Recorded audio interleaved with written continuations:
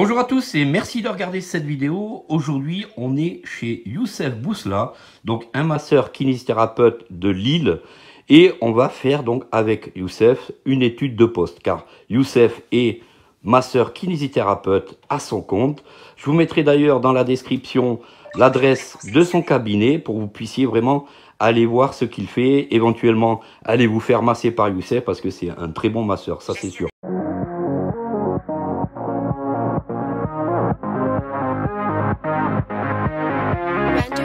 podcast.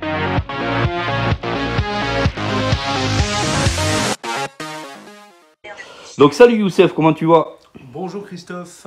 Aujourd'hui, on fait une étude de poste. Donc je vous montre ici tout ce que Youssef va tester aujourd'hui comme matériel. Donc il va tester donc le Prodigy qui est donc une tablette qui est capable de faire de l'OCR et faire de l'agrandissement. Euh, Youssef est quelqu'un qui fait du braille. Donc Youssef, alors toi aujourd'hui, on va faire une étude de ton poste. Qu'est-ce que tu recherches exactement pour améliorer tes conditions de travail? Alors moi ce que je recherche c'est tout d'abord un appareil qui me permet de prendre des notes et de me relire en braille euh, pour euh, travailler à mon cabinet, euh, inscrire les fiches de mes patients, pouvoir participer à des formations et prendre des notes et un appareil qui me permet également de lire du, des courriers, hein, tout ce qui est lettres manuscrites, du moins lettres en caractère imprimé. Dactylographie, ok. dactylographie, Ok, et donc aujourd'hui, tes outils de travail, donc c'est un PC, tu utilises le braille, tu es non-voyant, tu es malvoyant Alors moi je suis malvoyant profond, je suis brailliste, euh, donc je travaille euh, quasiment qu'en braille. J'ai un tout petit reste visuel. en... Alors est-ce que je sais que avant tu, tu pratiquais en fait deux solutions, tu avais ton cabinet et tu allais donc au CHU de Lille. Voilà, j'ai travaillé au CHR, j'ai travaillé en IME également. D'accord. C'est quoi ça IME euh, C'est Institut médico-éducatif avec des enfants. j'ai travaillé au CHR et je me suis dit pourquoi pas le libéral. Et maintenant, depuis 2010, j'ai ouvert le cabinet. D'accord. Et euh, sur l'île, donc euh, aujourd'hui, euh, ton cabinet marche bien, fonctionne bien, tu as du monde alors nous avons une patientèle qui est, qui est familiale, ce sont les, les, les, familles, les amis des amis, donc il y a une grande chaîne qui s'organise progressivement et les gens reviennent, donc ça se passe très très bien.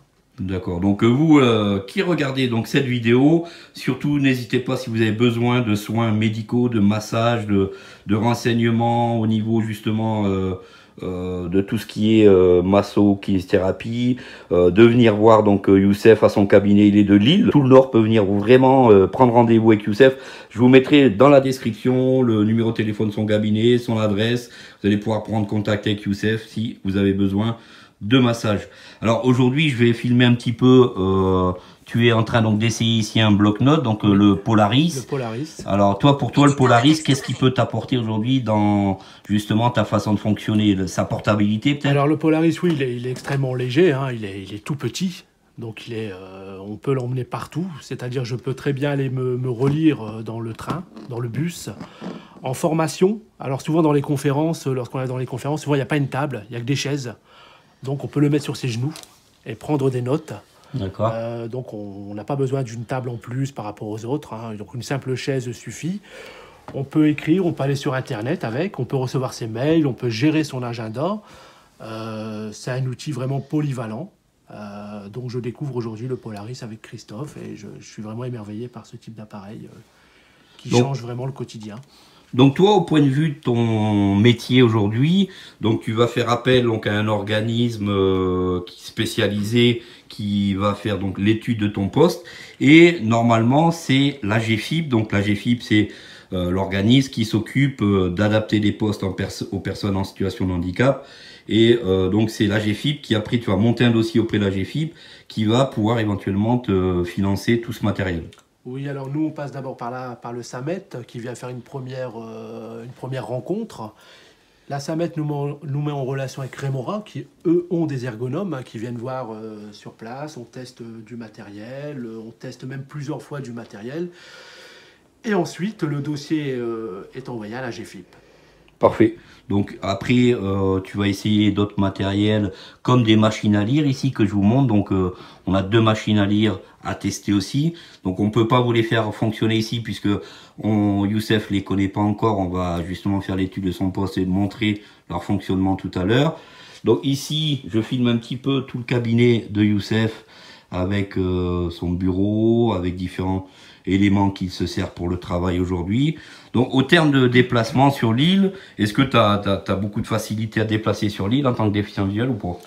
Bah, L'île reste une petite ville, on a un métro donc, qui, est assez accessible, hein. les, stations sont vocalisées, donc euh, ça reste quand même une ville qui, reste agréable par rapport à certaines grandes villes où c'est plus compliqué. Euh, oui, bien sûr, il y a toujours des difficultés, hein. on est quand même euh, déficient visuel, donc il y a des difficultés, mais il y a eu beaucoup d'améliorations qui ont, qui ont été faites sur la ville. D'accord. Toi, tu as privilégié plutôt le côté canne blanche plutôt que le côté chien guide ou tu as déjà eu un chien guide? Non, jamais eu de chien guide, j'ai privilégié le côté canne blanche. D'accord. Et au niveau de tes études, donc il y a maintenant 20 ans que tu as fait ça, les études, donc tu les as fait étant que tu étais de Lille, où est-ce que tu as trouvé une école pour justement exécuter tes études?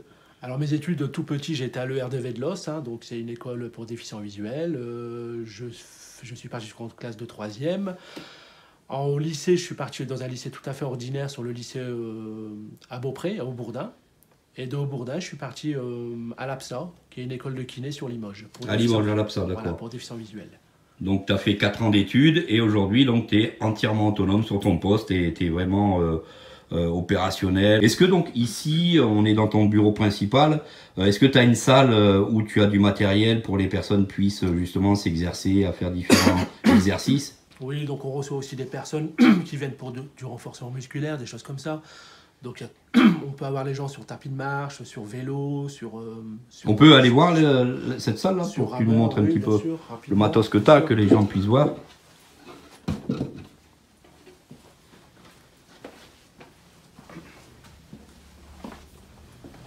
Voilà, donc là on rentre dans la salle euh, où Youssef donne euh, à faire des exercices aux gens. Un cube qui permet de faire des exercices de musculation, tout ça. Donc on a ici un vélo euh, où les gens puissent s'exercer par rapport à ce que Youssef va leur donner comme exercice.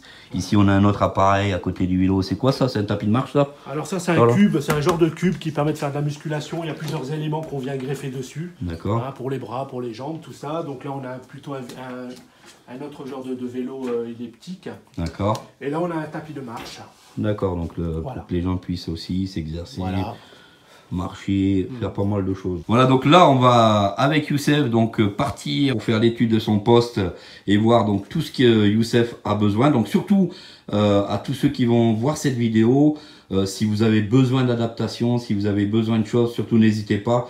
on a des organismes en France, la GFIP, le FIP, on a pour les particuliers la MDPH qui permet en fait de financer du matériel adapté.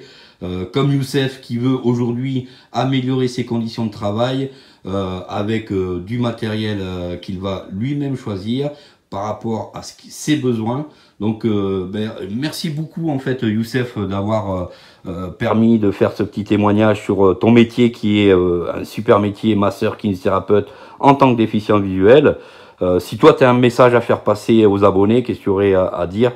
Non, mais moi je pense qu'on peut arriver à faire beaucoup de choses aujourd'hui. Euh, l'informatique nous permet vraiment d'accéder à beaucoup d'informations, ce qui n'était pas le cas il y a, il y a quelques années. Hein. Moi, quand j'ai commencé mes études, c'était simplement quasiment en braille sur papier.